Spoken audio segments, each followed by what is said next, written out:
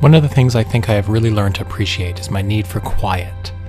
Nowadays, I have to make an effort to find a quiet place, to get away from it all, I suppose. But finding absolute peace and quiet is getting more and more difficult, and the best I can do is just to find the least noisy. I've already been swept into an industry that is beyond my control, doing work for others and never for myself.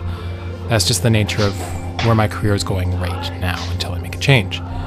And I live in a city amidst the honking and the volume of traffic, and I always feel like I'm at the mercy of the wants and needs of selfish, self centered people, all with this unearned sense of entitlement.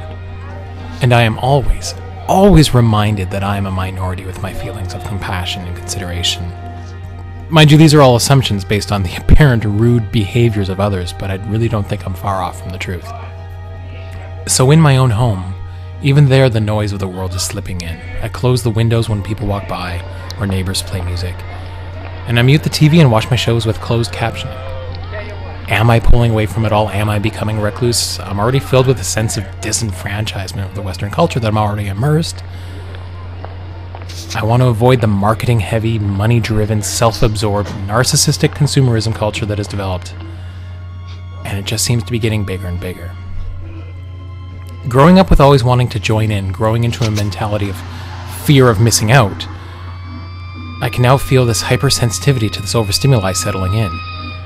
It feels like I'm already five steps ahead to becoming that guy who lives in the woods, all Howard Hughes like. But I am part of the city, and I do have to accept that. I live in an urban neighborhood, still quiet, I guess, when compared to some of the other noisy counterparts. The streets here are traffic calmed. These are old houses with old families. We're next to a school. But when I need time to myself and try to relax in the hammock in our backyard, I'm only reminded that we live in a busy world, a busy time.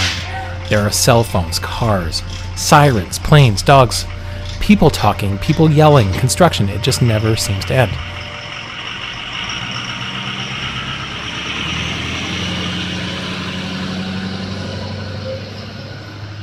Thankfully, I have my wife, I have my family, I've got my friends, my kitty, and with them, with their support, there are times I can still feel peace, still feel at ease. And I hold on to those times, I treasure them. I see and appreciate the quiet they allow. I watch that movie on mute in the dark. I get to work a little bit early so I can avoid anybody. And I take the long drive home on the back road alone. My question to you, future Todd have you found your peace? Have you found your quiet? Is it a place? Is it a state of mind? Or is it, as I see it, just the inevitable acceptance that you are part of this world and as hard as you want, you can never hide from it?